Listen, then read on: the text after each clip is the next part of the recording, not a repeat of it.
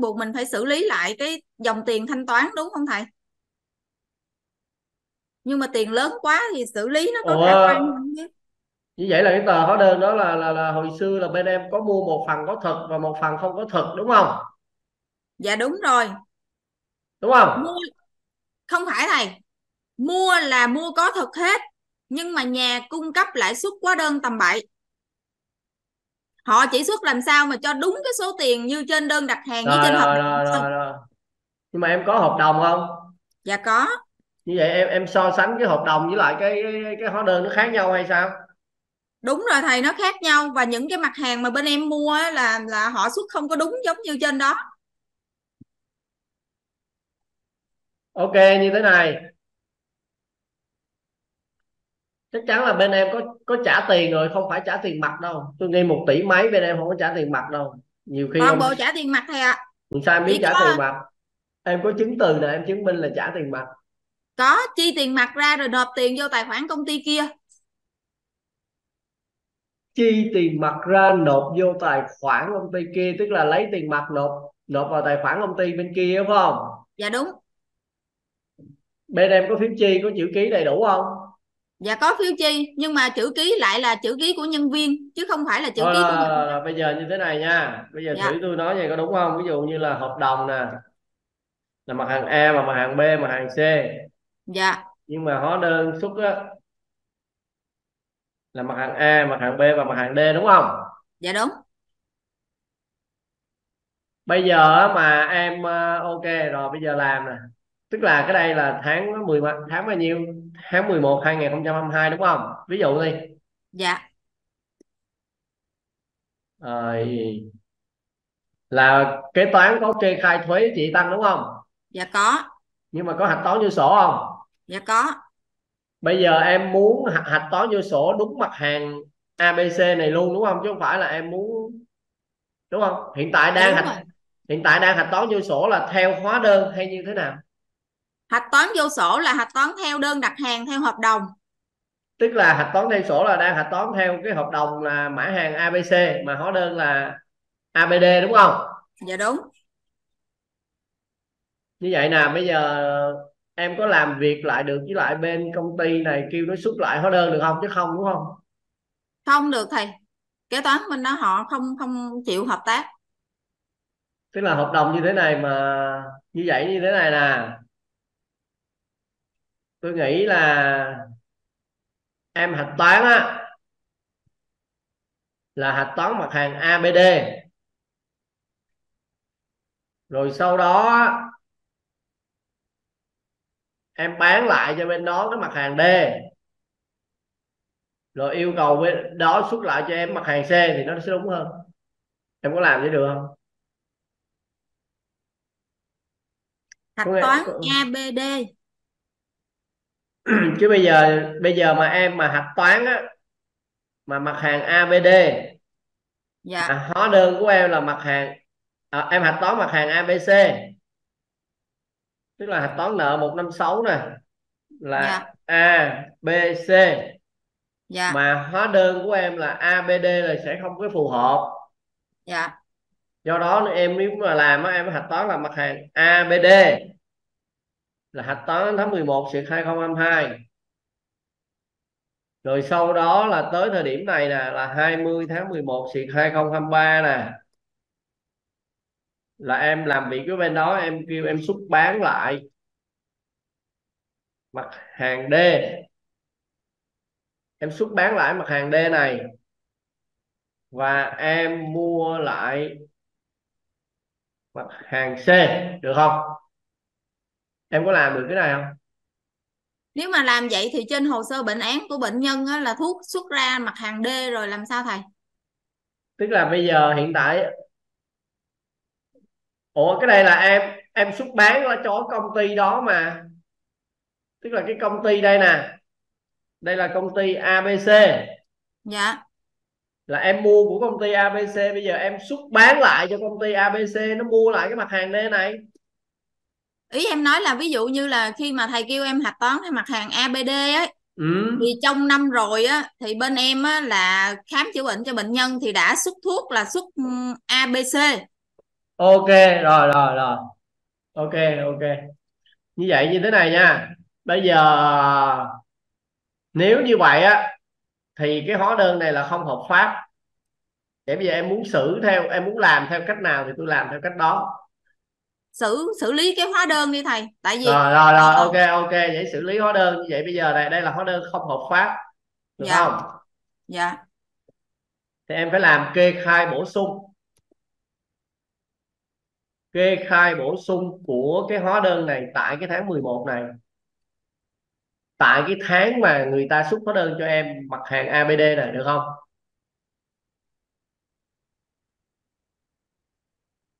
kê khai bổ sung hả thầy? Đã kê khai rồi mà thầy.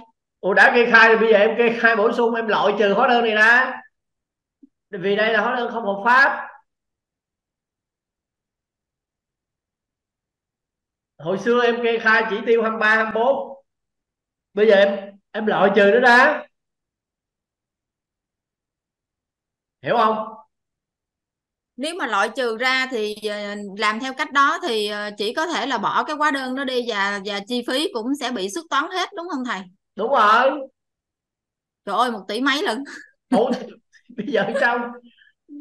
Nhiều cách làm lắm. Bây giờ cái cách nào mà em đây là hồi xưa nó kê khai ở chỉ tiêu này là một tỷ đi. Dạ. Dưới đây là trăm triệu. Đây trăm thì bây giờ bỏ ra. Bỏ này ra. Xem như không có thì VT tăng lên trăm triệu. Đó là đó là cách đúng. Bởi vì cái hóa đơn này không hợp pháp chứ không phải là kêu là à trong này là mặt hàng AB có nên anh chấp nhận tôi mặt hàng AB còn mặt hàng đây là mặt hàng không có. Thuế đâu có nói vậy? Cái đó là em giải trình. Rồi bây giờ thế kêu đây là hóa đơn anh xuất tầm bậy rồi. Hiểu chưa dạ em hiểu rồi. À, thầy ví dụ như nãy tôi nói nếu mà bây giờ em mà làm theo cách này nè. Dạ. Thì em chấp nhận là cái cái vấn đề là là là trong cái tại vì như thế này. Trong cái mà bệnh án của em á, là em vẫn xuất cái mặt hàng C.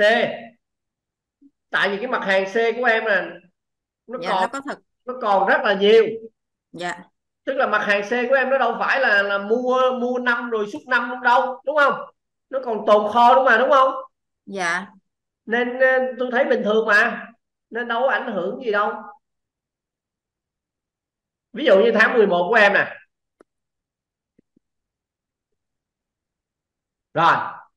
Là cái mặt à, trên cái nhập à, xuất tồn của em á. Ủa tôi nói em có hình dung ra không vậy? Dạ thầy nói đi. Em đang vẫn đang theo dõi. Hình dung ra chứ đúng không? Tôi Dạ. ví dụ mà không tôi không hình dung cho được dạ. Ví dụ như tồn đầu của mặt hàng C của em là trăm nè. Vừa rồi là em có nhập mặt hàng C nè. Đúng không? Thì bây giờ cái với cái nghiệp vụ này là em không có nhập. Khi mà em em làm theo cái hóa đơn này là, là em nhập mặt hàng D. Dạ. Thì cái chỗ đây là mặt hàng C em nhập à, ví dụ như hóa đơn cái chỗ đây là 10 đi. Thì cái khúc đó là em đang nhập theo thực tế là 10 thì bây giờ em không có nhập em bỏ nhiệm vụ 10 này và em nhập cái mặt hàng D. Xem như là mặt hàng C nó không có cái 10 này. Mà nó chuyển qua mặt hàng D là nhập là 10 thì bây giờ em xuất bệnh án. Bệnh án của em vẫn là mặt hàng C thì nó nó vẫn còn tồn nè. Thì cái đâu âm kho đâu. Có nghĩa là cái ho, cái đây là em đang nhập mặt hàng C là 10 nè. Thì bây giờ em quay lại tháng 11 là xem như không có 10 nếu mà hồi xưa là em đang làm như thế này dạ. Đúng không? Dạ. Đó thì ăn thua cái phần xuất ngay chỗ này nè. Nếu mà em xuất nó nhỏ hơn số 100 này thì đâu có quan tâm tới số nhập này làm gì. Đây là tồn đâu hiểu ý tôi nói thế nào? Dạ hiểu. Thì lúc đây là xem như là em nhập mặt hàng D. Mặc dù là nhập tức là em đang nhập theo hóa đơn chứ không phải là nhập theo thực tế. Đang xử lý theo cách đó thì em không cái cái loại trừ tờ hóa đơn này ra. Hiểu không? Em em hiểu. Em có một cái thắc mắc còn một cái vướng mắc như thế này. Ừ. nếu như mà mình vẫn kê khai cái tờ đó mình là hợp thức hóa cái tờ hóa đơn mình kê khai như vậy thì khi mà mình mình mình thanh toán đó, nó có bị dướng cái dòng tiền thanh toán bằng tiền mặt không thầy? Ok thì bây giờ ngay chỗ đây là cái khúc mà em thanh toán á, đầu tiên á, là cái đây là tháng 11 nè em đang ghi là 111 á. Thì em chuyển qua là có của 331 được không? Dạ. Em chuyển qua có 331 em làm cái hợp đồng á.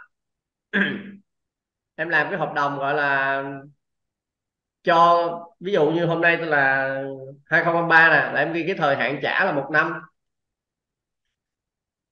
Thì tới ngày hôm nay là 20 tháng 11 thì có nghĩa là năm 2022 nha là cái tháng mà em mua á. Dạ.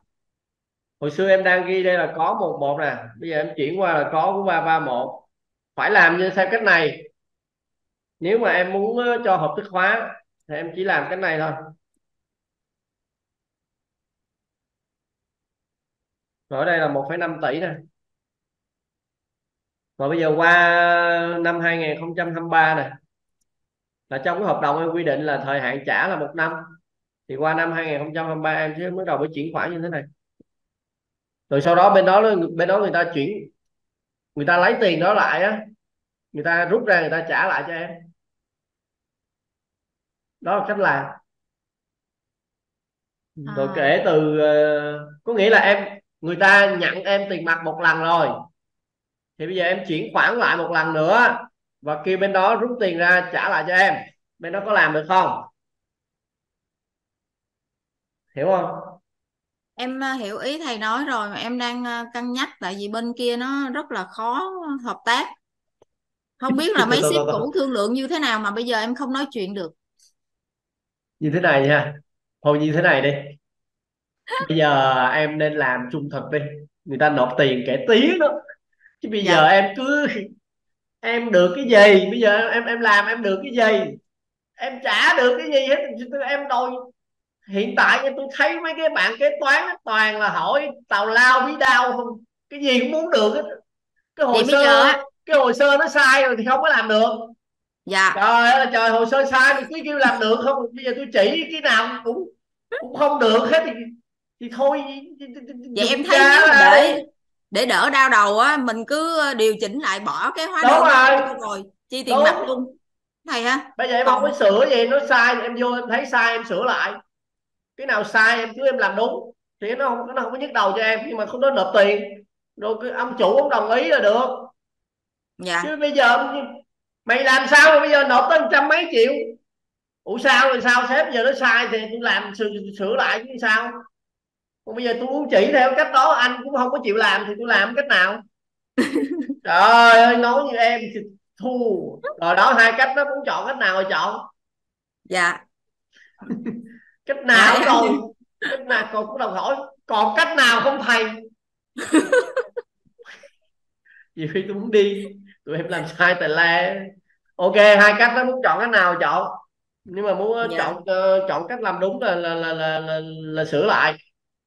Dạ. sửa lại tờ khai bổ sung. Thuế trị tăng. Rồi thu nhập doanh nghiệp. Rồi báo cáo tài chính 2022 rồi sau nó ra cái số đúng đó thì mới lấy cái số đúng đó làm đầu kỳ của 2022 à đầu, đầu kỳ của 2023 được không? Ừ. em hiểu rồi nhưng mà cảm giác nó hơi nhức đầu.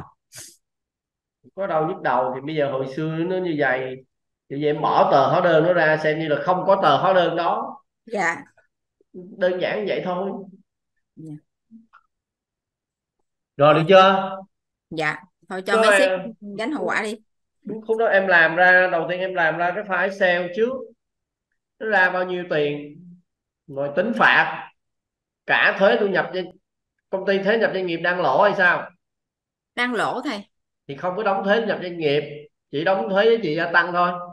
Thì em xem cái tháng đó thuế giá trị tăng của mình đang được khấu trừ hay đang phải nộp? Dạ. Hiểu không? Tại vì công ty của em chủ yếu là chủ yếu là cái gì? Không chịu thuế mà. Nên dạ. tôi thấy là như nếu em bỏ ra nó cũng em cứ em làm em bỏ ra cũng không phải nộp hay sao đó dạ cũng không ảnh hưởng uh, cái số tiền thuế phải nộp thầy đó ví dụ rồi không ảnh hưởng thuế phải nộp. Thì bây giờ quay lại cái bài toán về về thuế nhập doanh nghiệp nè. Ok thuế nhập doanh nghiệp uh, em đang lỗ nhiều không? Lỗ hơn một tỷ. Năm 2022 báo cáo cũ là lỗ một tỷ chín rồi lỗ tỷ chín bây giờ bỏ tờ hóa đơn nó ra thì em vẫn còn lỗ mà. Cái hóa đơn nó một tỷ một tỷ rưỡi đúng không? Dạ. Bây giờ em bỏ tờ hóa đơn nó ra. Cái tờ hóa đơn đó em em bán hết thuốc năm 2022 chưa? Hết rồi thầy. Ờ, thì thôi thì em vẫn lỗ đó. Em vẫn nên, nên tôi nghĩ không có nộp thuế. Dạ. Hiểu không? Dạ hiểu. Rồi Dạ. Rồi trường hợp một uh, tình huống giải quyết xong rồi bây giờ tình huống tiếp theo đi. Tình huống tiếp theo thì ờ, cũng tương tự nhưng mà ngầm- đầu à, cuối năm 2022 á mấy ông thương lượng như thế nào đó mà tự nhiên xuất bốn cái hóa đơn trị giá 215 triệu nhưng mà không có mua bán gì hết. Rồi bây Ừ. giờ là em em yêu cầu nhà cung cấp đó là họ xuất thu hàng được không thầy không không không. Hoặc là họ hủy đi. từ từ từ từ từ từ tức là em có xuất bán đúng không? Không người ta xuất bán em mua. À tức là em không có mua mà Dạ. tự nhiên có hóa đơn đúng không? Đúng rồi thầy. Trị giá bao nhiêu 215 triệu. Là mua thuốc hay mua cái gì? Mua thuốc á thầy của công ty hay là của nhà thuốc hay như thế nào? Của công ty ấy. rồi cái này này đã có kê khai thuế không? Có kê khai luôn rồi. Kế toán cũ kê hết rồi. Là đây, hiện tại nó đang nằm trong hàng tồn kho đúng không? Hàng đâu có nhập đâu thầy. Có kê khai nhưng mà có hạch toán sổ không? Không thầy. À không hạch toán sổ đúng không? Dạ. Bây giờ em alo qua bên công ty đó đó kêu người ta hủy tờ hóa đơn này nhưng mà người ta có làm hay không thì tôi không biết à. Cái vấn đề mà cái vấn đề nó đang nằm trong tay của bên kia. Dạ. Tức là cái cái cái công ty mà xuất cho em này nè em có mua hàng nó thường xuyên không? Nó có phải là nhà cung cấp thường xuyên của em không? Hay là cái đây tầm bậy tầm bạ một công ty lạ quắc lạ quơ à, nhà cung cấp đó thầy nhưng mà số lượng nhỏ thôi còn cái này là dự trù cho nên số lượng lớn. Nhưng mà Nhà bình thường cung- cái đơn nhà hàng tế cung- thì nó nhỏ nhỏ nhỏ nhỏ nhỏ thôi nó cũng có À. thoảng lai rai. Vậy bây giờ em kêu nó bỏ đi nha. Kêu bỏ đi dạ. Rồi em ờ, kê khai lại tờ khai thuế chị tăng. Thì cũng kê khai lại luôn. Được không? Dạ được. Ủa mà sao em biết là mà mua không có thật nó đang còn treo công nợ đang đang còn treo công nợ hả? À, em, Em em không có em không có hạch toán đúng không? Đúng rồi em kiểm tra sổ sách thì em không thấy hạch toán nhưng mà họ lại đưa cái xác nhận công nợ cho em để em xác nhận công nợ. À, nhưng mà em kiểm tra thì sổ sách đưa mà, mà, mà, mà, mà đưa xác nhận công nợ thì không thấy tờ hóa đơn này đúng không? Em có thấy tờ hóa đơn nhưng mà em không thấy hàng em không thấy kế toán cũ lên sổ sách thì tốt nha. Là như vậy em không thấy người ta lên sổ sách thì làm sao em biết bên kia tự xuất thì lúc đó em mới liên hệ với bên kia rồi em À. hỏi mấy ông ship cũ. À, thì ổng có nói là vậy là ổng có thương lượng là dự kiến là sẽ mua nhưng mà hồi lúc đó không biết thương lượng như thế nào mà người ta đi xuất hóa đơn luôn rồi ổng không biết. Ừ. ok. Còn không mà em hỏi ông hỏi thủ kho mình là biết gì biết liền cái gì em cầm cái tờ hóa đơn đây nè tháng mấy nè em xuống em coi thủ kho nè thủ kho có nhập kho không? Là em biết gì biết liền cái gì? Thủ em kho kiểm tra kho rồi không có. Không cần phải kiểm tra kho. Ở thủ kho của em nó có ghi sổ sách không? Hiện, không có thầy hiện tại thủ kho của em nó nó đang theo dõi nhập xuất tồn bằng cách nào? Không có theo dõi luôn tới chừng em vô rồi em mới bắt đầu đi kiểm kê em bảo theo dõi. Trời! Ok rồi bây giờ như thế này alo qua cái bên đó kêu nó hủy tờ hóa đơn này đi dạ rồi sau đó em làm kê khai bổ sung lại Ồ. này và em ờ, nếu mà như thế này nha em mà em thống nhất với lại ông sếp là bây giờ là em giống như hôm bữa buổi một tôi nói á bây giờ quán triệt cái tư tưởng mà làm á là em sẽ làm đúng thực tế thì lúc đó em Dạ. sẽ sẽ xử nó triệt nó triệt để hơn dạ. Chứ không không có dở dở ương ương. Dạ. Đó thì lúc đó em sẽ theo đúng cái cái cái cái, cái định hướng mà đưa ra là làm đúng thực tế. Thì lúc đó em làm mạnh tay thôi cái nào sai cứ làm. Dạ. Hiểu không? Dạ hiểu. Chúng tôi bây giờ em thấy công ty giống như vạn thịnh phát đó, em thấy không? Tôi nói thiệt tụi em em mà làm tầm bậy tầm bạ đẻ ra công ty ma rồi đi vay rồi đáo hạn tôi thấy mấy anh kế toán nó rung tay như bây giờ làm tùm lum tà la hết. Em làm sai thì không bao giờ mà, mà, mà có cách làm nó khó lắm. Giống như hồi nãy tôi nói ví dụ trường hợp này đi. Yeah. Dạ. cái trường hợp mà một tỷ rưỡi nè mà tôi nói là làm lại hợp đồng uh, một năm nè rồi bắt đầu uh, treo ba ba một nè. Thì tôi thấy đôi lúc nó cũng phi lý đó. không có ai mà cho nợ một năm. Em hiểu không dạ. Đôi lúc ví dụ ông thuế ông buồn buồn ông qua bên kia ông xác minh chẳng hạn. Ông gửi qua bên nhà cung cấp là ông xác minh nè. Dạ. hiểu không? Đôi lúc nên rất là khó. Chẳng qua tôi chỉ tôi tôi chỉ như vậy thôi. Còn anh ông thuế ông có làm tới nơi hay không đó là quyền của ông. Nếu mà ông dạ. làm tới tới nơi thì nó phát hiện ra liền. Dạ đúng rồi. Đầu tiên là không có ai mà bán mà cho nợ một năm bao giờ khó hiếm dạ. tại ví dụ như người ta nhìn vô cái nhà cung cấp này nè. Nhà cung cấp đây là nhà cung cấp thường xuyên của em chẳng hạn. Ví dụ coi mấy cái đơn hàng trước á người ta trả tiền như thế nào? Người ta thấy là trả tiền là trong vòng có một tháng à. Dạ. Tại sao đơn hàng này năm là sao? Ê, có vấn đề. Hiểu không? Dạ. Đó cái nhiều cách làm tôi không phải muốn làm mà làm. Tôi chẳng qua tôi không muốn phát hiện tôi phát hiện là dễ. Nhìn vô là, là một nghiệp vụ rất là bất thường.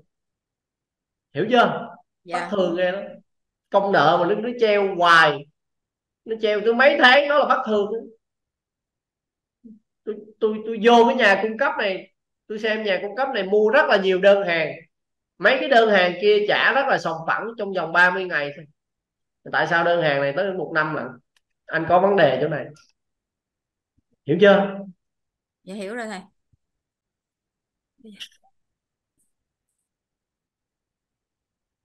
và à, khi mà chỗ em làm ở đây là phải có thủ kho. Thủ kho nó phải theo dõi nhập xuất tồn. Có thủ kho nhưng mà yếu lắm em làm hết luôn á thầy. Không em à, làm hết thì không có được tại vì à, bây giờ em làm hết đi.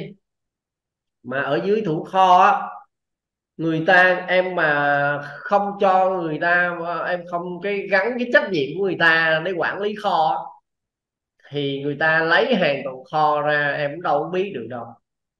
Cho dù em kiểm kê bây giờ em kiểm kê là trên sổ là còn 15 nhưng mà trên ờ, tồn kho nó còn có 10 ở lệch năm. Vậy em bắt người ta đền không? Người ta nói là ủa bây giờ tôi đâu có theo dõi nhập xuất tồn đâu sao bắt tôi đền? Ừ, tôi đâu có theo dõi chứng từ gì đâu tôi đâu có chứng từ gì đâu.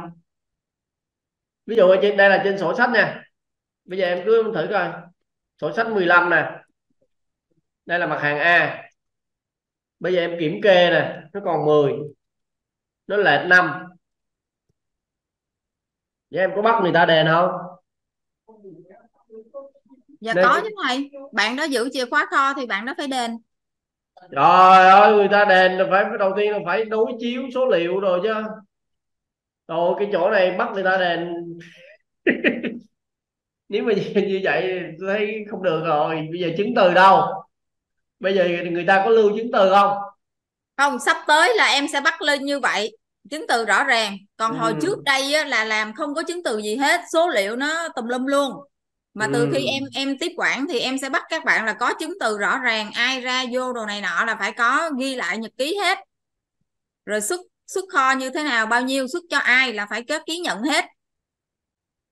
Ok còn hồi trước đây là không có.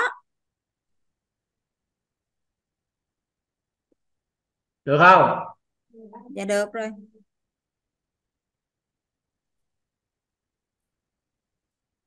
Cuối cùng thì vẫn chọn cái cách là hủy hóa đơn thôi chứ còn không cách nào nữa.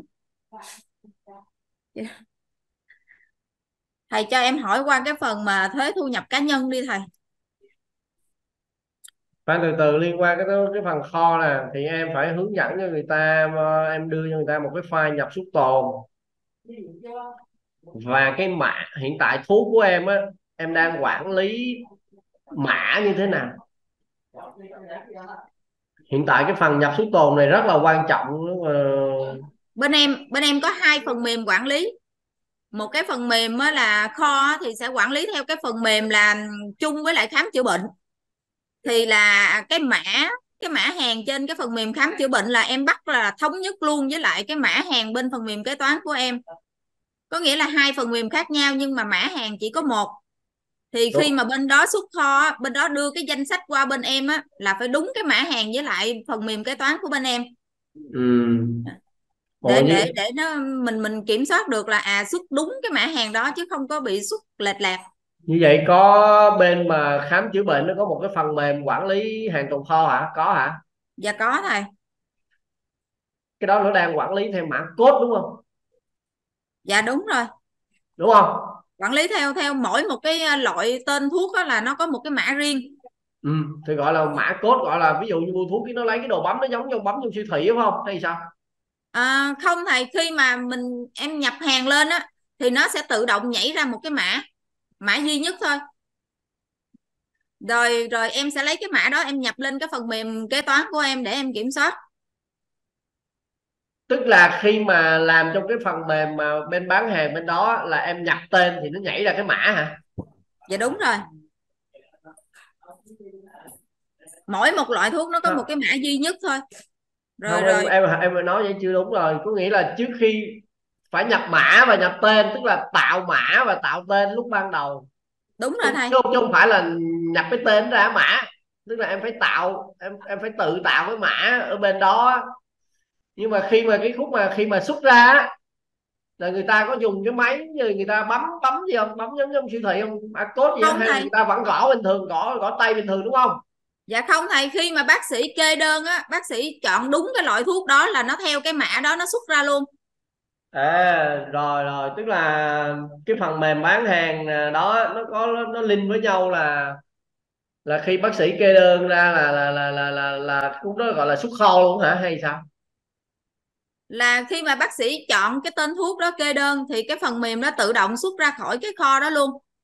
Tức là ông, tức là ông ông bác sĩ mà ông kê đơn là ông vô cái phần mà xuất kho đúng không ông không vô xuất kho ông vô cái phần khám chữa bệnh của ông ông à. chọn cái tên thuốc đó ra thì phần mềm nó à. sẽ tự động link về cái kho là tự động rồi kho dữ luôn. liệu nó sẽ tự xuất ra luôn đúng rồi mới đưa mới đưa xuống cái, cái quầy thuốc mới lấy thuốc hả hay sao dạ đúng rồi rồi mới đưa cái to thuốc đó xuống quầy giờ quầy chỉ việc phát thuốc thôi ừ.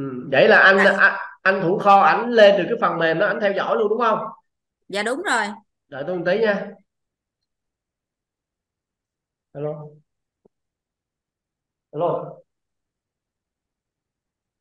alo Đấy.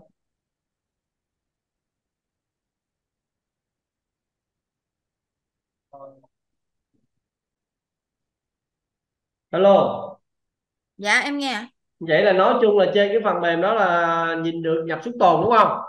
Nhìn được nhập xuất tồn luôn thầy như vậy cái phần mềm đó là phần mềm chuẩn rồi đó. Phần mềm đó là phần mềm liên quan đến bán hàng đó là chuẩn rồi. Dạ cũng cũng chưa chuẩn lắm. Sao chưa? Phần mềm nếu mà phần mềm đó mà vừa mà bác sĩ mà vừa gõ vô nó hiện ra phần xuất luôn. Dạ. là nó tự động vậy luôn rồi. Vậy là quá chuẩn rồi. Thì nó tự động xong văn, rồi. còn cái vấn đề mà anh thủ kho á dạ anh có chịu trách nhiệm trên cái vấn đề đó hay không á đó là một vấn đề. Tức là em tụi em phải làm việc lại về cái vấn đề là ai sẽ là người chịu trách nhiệm về quản lý cái này. Em phải làm việc ờ, về trách nhiệm. Nhưng mà bây giờ không biết ai quản lý kho không biết ai chịu trách nhiệm hết thì chết dở phải chịu trách nhiệm. Và khi mà nó bị lệch như vậy là phải ờ, phải đối chiếu được. Dạ. Mà muốn đối chiếu được là phải có chứng từ dạ có. Như vậy chứng từ của em và chứng từ của người nhập cái người nhập kho ở trong đó, đó nhập trong phần mềm đó đó. Dạ. giống nhau một trăm phần trăm. Tức là dạ, đúng rồi. nhập kho là chứng từ của nó phải giống chứng từ của em. Dạ. Và xuất kho thì chứng từ của nó phải giống chứng từ của em. Dạ đúng. Như vậy giống ở đây là đầu tiên là chứng từ gốc nó phát sinh tại cái cái cái cái cái chỗ kho đó. Thì nó phải đem lên cho em dạ. em dựa vô đó em lập phiếu xuất kho và dạ em chuyển ngược lại xuống bên đó kêu người ta ký nhận trên đó. Tức là vừa có chữ ký của em và vừa có chữ ký ở bên đó. Điều đó có nghĩa là đó là chứng từ dùng hai bên ghi sổ. Tức là Dạ. phiếu nhập và phiếu xuất của em làm sau. Dạ. Phiếu nhập và phiếu xuất của em làm sau dựa trên chứng từ từ cái ông kho đó đó dạ. Từ ông kho và cái ông bán thuốc gì đó ông gửi lên cho Dạ. em. Cái phần nhập và phần xuất. Em Dạ, dựa vô đó. Em nhập kho ở trong phần mềm của em và xuất kho trong phần mềm của em. Dạ. Và in ra phiếu nhập và phiếu xuất. Dạ. Kêu người ta ký vô trên đó. Dạ. Nhớ là cái phiếu nhập và phiếu xuất của em cái mã đó khi mà mình nhập là cái mã của em nó phải giống lại cái mã của, của, của người ta. Dạ đúng. Đó đó là quy trình đó và Dạ. lúc đó em chuyển xuống cho người ta kêu người ta ký vô anh giữ một bản tôi giữ một bản đây là cái chứng từ. Nó thể hiện ngày tháng năm theo từng ngày theo từng mã. Sau này nó bị lệch là tôi sẽ dựa vô đây hai bên cùng làm việc. Nhưng mà trước khi làm cái này thì hai đầu tiên em phải kiểm kê. Kiểm Dạ. kê xong chốt cái ngày chuyển giao về cái hàng tồn kho đúng thực tế giữa thực tế và sổ sách kế toán của em là nó khớp nhau tại ngày 20 tháng 11 kể Dạ. từ bây giờ mọi vấn đề trên lệch tôi với anh phải đối chiếu và tìm hiểu nguyên nhân. Dạ. Nếu trên sổ sách tôi 15 mà kiểm kê có 10 dạ. nó bị lệch năm. Nếu anh tìm không ra đó là trách nhiệm của anh anh phải anh phải đền. Dạ. Rồi ok vậy nha. Dạ rồi. Ok em hỏi tiếp đi. Cái phần mà em à, thuế thu nhập cá nhân á thầy. Ừ. Bên em á thì kê khai hàng quý nhưng mà cũng có trường hợp ví dụ như là thuê các bác sĩ thuê ngoài á, theo nhu cầu ví dụ như hôm đó cần bác sĩ đó làm một hai ngày thôi ừ. thì khi mà làm xong thì em sẽ khấu trừ cái 10% thuế thu nhập cá nhân. Ừ. Thì em em có nộp từng lần được không thầy không hay cái là- ờ, cái đó nộp ờ, em nộp theo cái cái cái cái cái cái, cái tiền lương tiền công theo tháng theo quý của em luôn đi. Nộp chung hả thầy? Không nộp Ờ. không kê khai từng lần được không thầy?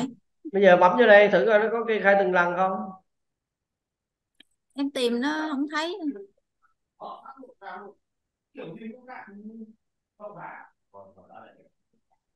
Không em ơi nó chọn kỳ nè em ơi. Nó không phải từng lần em ơi đây tờ khai 05 nè theo thông tư 80 nè. Là tháng nè tháng quý thôi. Nên em kê khai theo tháng theo quý cùng với lại ờ, bảng lương của em được không? Dạ. Nó là thu nhập từ tiền lương tiền công. Dạ. Nhưng mà nó thuộc diện khấu trừ 10% chứ không phải là nó lũy tiến từng phần hai khác nhau. Lũy tiến từng phần áp dụng cho hợp đồng lao động từ 3 tháng trở lên. Dạ còn tất cả những cái dạng khác dưới 3 tháng hoặc là không ký hợp đồng lao động tức là hợp đồng dịch vụ hợp đồng cộng tác viên giống như mấy ông bác sĩ gì của em đó đó dạ. thì thu 10% thu 10% cho mỗi lần mà khi mà em trả tiền. Dạ khi đúng. mà em trả tiền là em thu 10% luôn. Dạ. Mà mình kê khai trùng với lại ờ, tờ khai ờ, tháng hoặc là quý tùy theo cái cái công ty của em đang kê khai theo tháng hay theo quý chứ không không có kê khai từng lần được không? Dạ. Rồi tiếp đi em. Bây giờ quay lại cái vấn đề cho em nếu mà em làm một sổ thì hôm bữa quay lại bài toán mà gọi là cho tiền cho tiền như vậy đó. Thì hôm bữa tôi nói em là, là mình đưa vô chi phí khác. Em ghi là nợ 811 có của tiền chi khác. Mình chỉ nói như vậy thôi hiểu chưa? Dạ. Mà một khi em ghi chi khác rồi thì đưa vô B4 thì mấy ông thuế ông không có hỏi tới vấn đề là chi khác là chi cái gì đâu. Ông nào mà ông đi sâu chỗ đó là là mấy ông đó là trình độ hơi cao siêu. Còn khi mà em ghi vô chi khác em đưa vô B4 rồi. Thường thường em đưa vô B4 á là quyết toán thuế nhập doanh nghiệp mà em loại ra chi phí rồi á. Dạ. Thì thường thường thuế người ta không quan tâm hiểu không? Dạ. Cái người mà nghĩ cái khoản đó là chi vô cái gì chi vô cá nhân là cái gì? Tôi nghĩ người đó cao siêu lắm. Không không không ai hỏi vậy cả. Hiểu Dạ. chưa? Dạ. Rồi hỏi tiếp đi. Cái ờ, phần mà thuế thu nhập cá nhân á thầy nhưng mà ừ. bây giờ em đang bị dướng cái bảng lương rất là là là khó khăn. Không biết là ví dụ như làm cách nào để mà đóng cái phần thuế thu nhập cá nhân tối thiểu nhất á. Tại vì mấy bác sĩ thì lương thì cao mà lại không chịu đóng thuế xong rồi cứ ờ, bảo là phụ cấp độc hại mà nó rất là cao luôn á. không em đừng cái như vậy nha. Bây giờ nè bây giờ em cái đó gọi là cá nhân và doanh nghiệp. Bây giờ em phải phân biệt là tôi là doanh nghiệp thì tôi chỉ biết doanh nghiệp thôi, chứ tôi không có biết cá nhân. Cá nhân đó là cái thu nhập của anh anh phải đóng thuế nhập cá nhân. Còn doanh nghiệp của mình đó là mình phải đưa ra quy chế. Đầu tiên á là công, tại thuế thu nhập cá nhân là nó liên quan tới ông cá nhân, mà ông cá nhân nó đâu liên quan tới công ty. Tại vì công ty trả lương cho anh, tức là trả thù lao cho anh. Thì đó là chi phí của công ty còn vấn đề thuế nhập cá nhân anh nhận là anh phải nộp thuế nhập cá nhân. Chứ bây bây giờ tôi lắc cái kiểu gì? Bây giờ đầu tiên nè, về chính sách lương của người lao động á.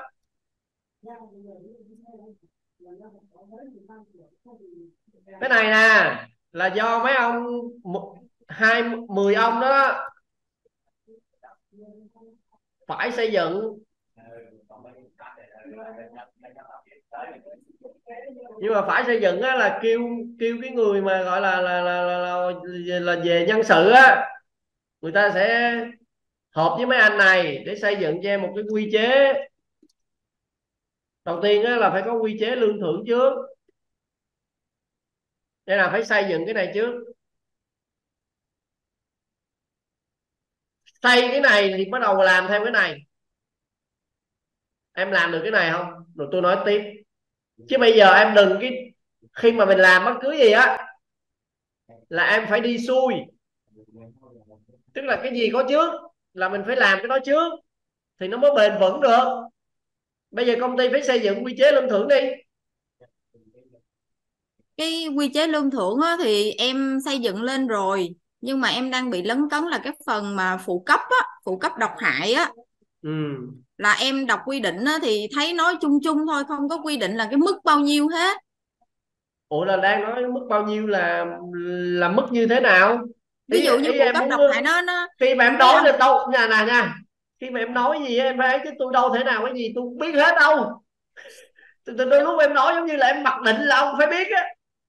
Em nói nhiều cái gì tự nhiên nói phụ cấp độc hại rồi à, em ví dụ vậy nè em nói thầy ơi trong cái vụ cấp độc hại á em đọc trong cái thông tư về 111 á là thuế nhập cá nhân á là nó không có được miễn thuế này hay như thế nào? Rồi ví dụ như em kêu là à, cái phụ cấp độc hại em đang để trên cái bảng lương của người ta ví dụ như em mới nói là, là em muốn cho người ta 15 triệu phụ cấp độc hại lương của người ta 20 triệu em để 15 triệu phụ cấp độc hại có đúng hay không?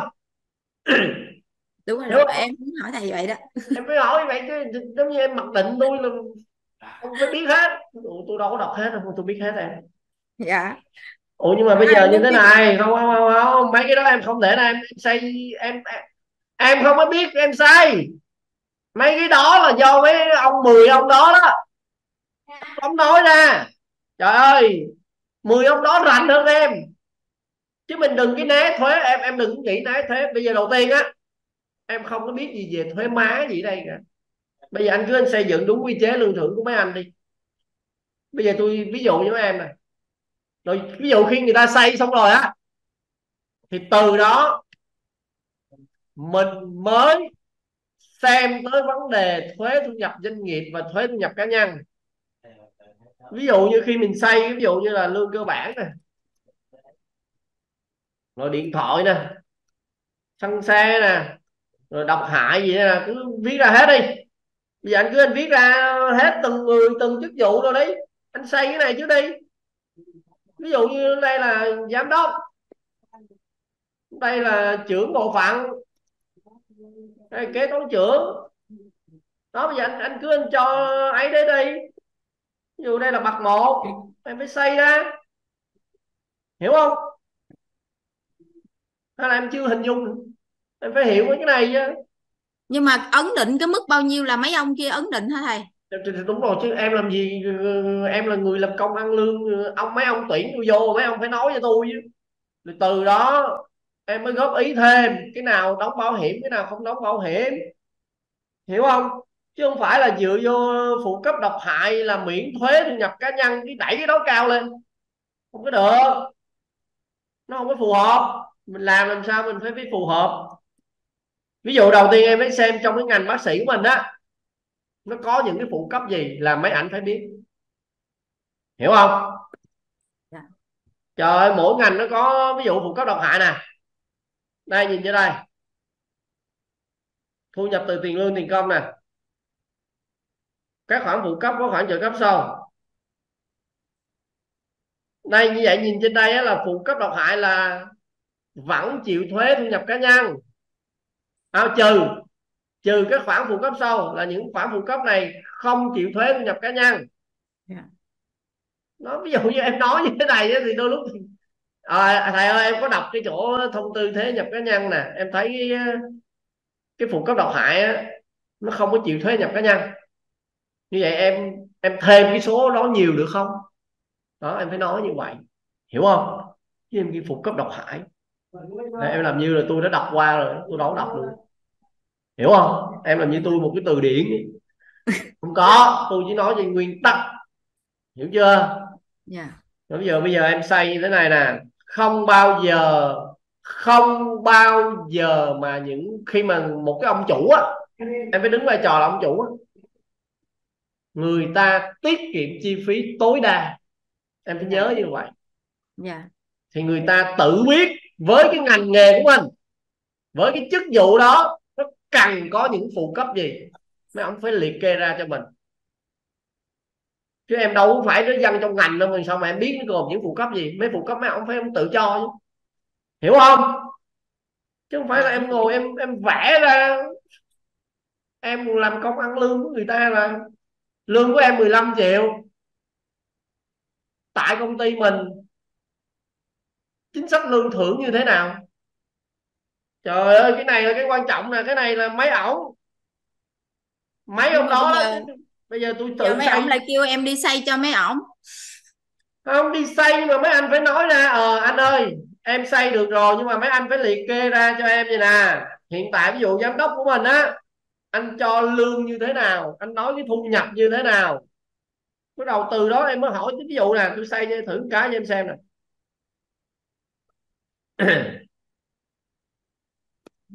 xây cho mấy ông mấy ông phải đưa ra, mấy ông làm thực tế là mấy ông mới đưa ra chứ. Bây giờ tôi định nghĩa nè, thu nhập gồm lương cơ bản, cộng cho những khoản phụ cấp theo lương. Rồi. Bây giờ tôi mới xây trên đây. Thứ một là lương cơ bản. Tôi mới định nghĩa là mức lương cơ sở dùng để đóng bảo hiểm xã hội. Định nghĩa vậy luôn.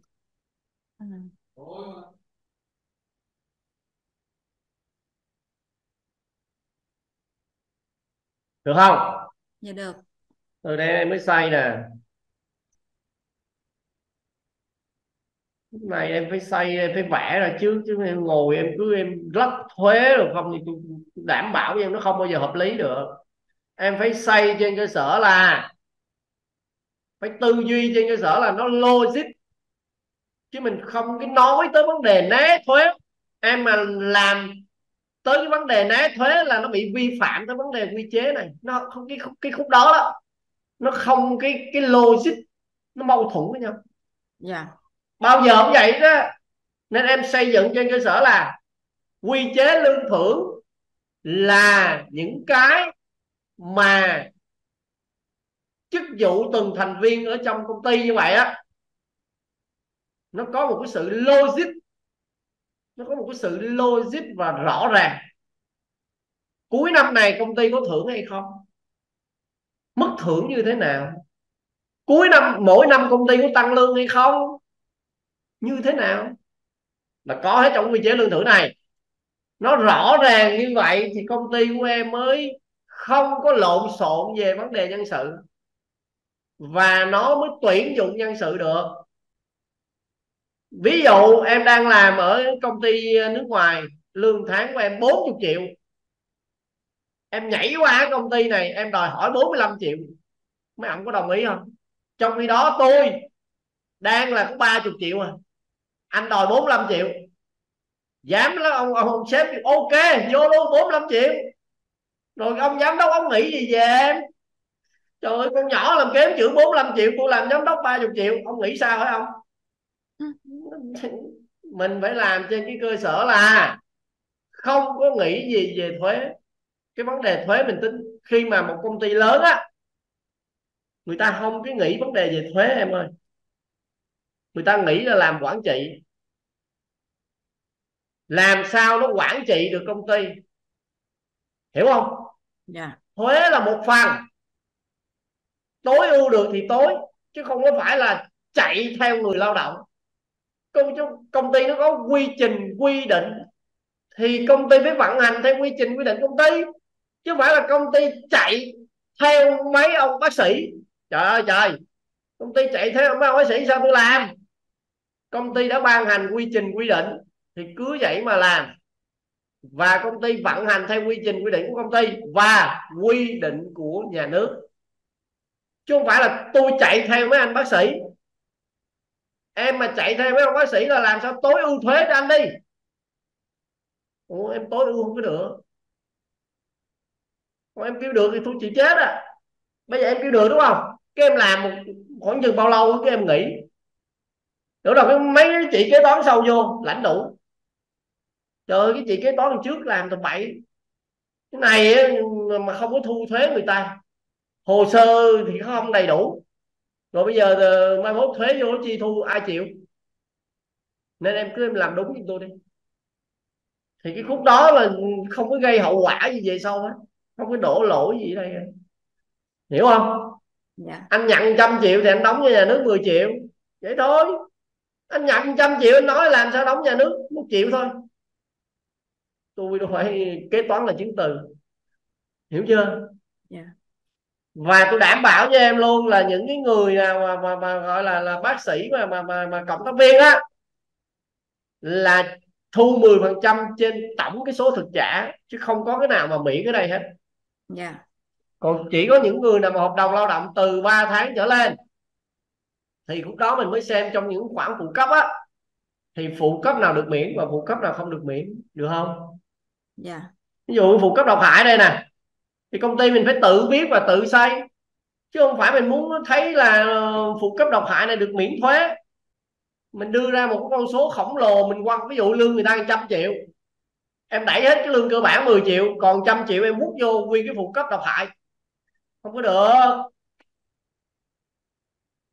Hay ví dụ như là lương giám nó hiện tại nó không có một cái bao nhiêu là phù hợp nhưng mà mấy ông chủ ông tự biết với cái ngành này phụ cấp độc hại ở cái chỗ nào. Bây giờ ví dụ em lên ví dụ em coi em tìm hết coi. Phụ cấp độc hại à, bên ngành à, bác sĩ. Ngành của em là ngành gì? Y tế. Sao là y tế? Ngành à, y tế đúng không? Dạ ví dụ như vậy nó có em em cũng có tìm hết rồi đúng không? Chế em cũng có cấp. tìm rồi ừ. mà không thấy. Nó có ghi nè. Nó chung chung bên mảng nhà nước không à? Trời ơi, bên mảng nhà nước là nó cũng là một cái cơ sở đó em. Bên mảng nhà nước nó cũng là một cái cơ sở mà. Nên em cho cao hơn. Thế nào? Ví dụ này thấy không? Từ ngày bao nè phụ cấp độc hại mới nhất nè cho ngành y tế được căn cứ theo quy định tại nè. Yeah. Dạ.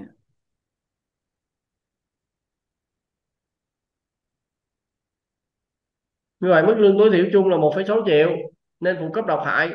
Đây bây giờ bây giờ nhìn đây nè. Em cũng lấy trên cơ sở này mà em xây dựng luôn. Hiểu chưa? Ví dụ như em xây dựng như thế này em cũng dựa cho hệ số luôn. Thì hệ số này em tự cho ví dụ như em em em tự cho hệ số bên em. Và em cũng lấy trên cơ sở là bằng mức lương tối thiểu chung cũng được.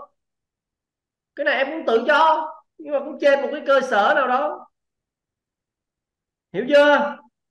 Trời, chứ bây giờ hồi nãy tôi nói em rồi đó, là ông chủ á, ổng á, là một người mở công ty ra. Phải làm sao tiết kiệm chi phí cho tôi? Đó là cái tiêu chí đầu tiên. Bây giờ tôi nói đây cho em xem nè. Ví dụ trong đây nó tính rõ ràng nè. Đây cũng là một cái cơ sở của em. Đây, nó có ví dụ như hệ số nè.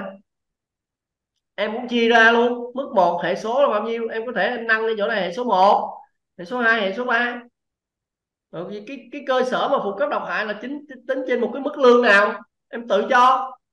Ví dụ nhà nước cho 1 triệu sao? Cho 1 triệu sáu em cho 2 triệu. Đó là cái cơ sở xây dựng của em. Ủa em lấy bằng mức lương cơ bản đóng bảo hiểm xã hội luôn được không thầy? Có cao quá không? Trời ơi trời cái đó em hỏi tôi tôi chịu chết nha. Tôi đã nói tôi nói em mà từ nãy giờ em không có hiểu gì hết. Em không có hiểu gì thiệt luôn á. Tôi đã nói em rồi. Làm cái gì nó phải hợp lý. Hợp lý ở đây là cái gì mình không cái phải là dựa vào cái vấn đề là được miễn thuế cái mình đẩy hết cục ở trong đó nó không có hợp lý. Hiểu chưa? Em có hiểu ý tôi nói không? Nếu vậy chứ, chứ, chứ, chứ toàn bộ không có ai đóng thuế hết à. Hiểu chưa? Mình phải xây dựng trên cơ sở là hợp lý với doanh nghiệp. Tức là ông chủ ông phải tối ưu mọi khoản trong cái cái cái phụ cấp đó. Bây giờ tôi xây dựng cho em cái đã nè đây, lương cơ bản là ông giám đốc nè.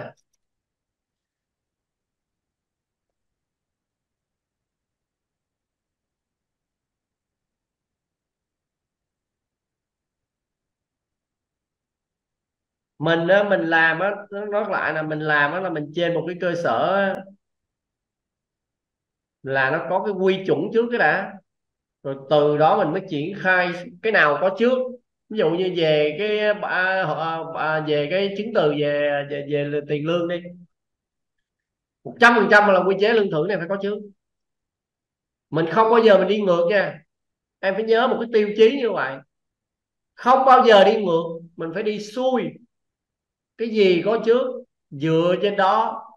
Rồi mới làm hợp đồng mới mới tuyển dụng. Tôi có quy chế này rồi nè vấn đề tuyển dụng của em dễ không? Đố em dễ không? Dạ dễ. Rất dễ luôn. Vì nó đã có quy chế rồi. Vị trí luôn rồi. Gồm những phụ cấp nào luôn rồi lúc em em nói chuyện em tuyển dụng dễ lúc em ký hợp đồng lao động dễ luôn. Nó phải đi rồi từ đó em làm bảng lương dễ luôn. Rồi từ cái bảng lương nó mới đóng thuế thu nhập cá nhân. Nó đi như vậy mà nó đi xuôi nó đi như vậy mà chứ nó phải là nó đi. Tôi phải vẽ bảng lương ra trước. Đóng thuế thu nhập ít nhất.